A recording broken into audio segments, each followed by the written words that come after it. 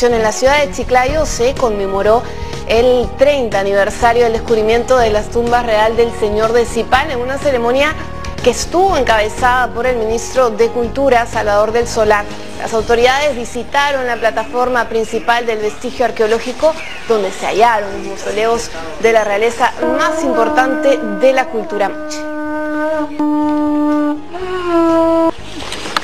Dejamos de llegar tarde los arqueólogos y el Estado, dejamos de llegar después de los saqueadores y de los huaqueros y por primera vez encontramos un hallazgo de, talla y de trascendencia absolutamente mundial.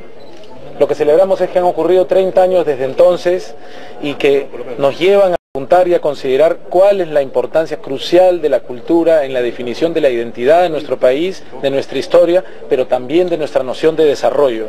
El Perú tiene que ser un país que se reconoce a sí mismo y que se proyecta hacia el mundo desde la cultura y el hallazgo del señor de Zipán y de su significado son cruciales para que adelantemos esta idea. 30 años del hallazgo más importante de los últimos tiempos. Vamos.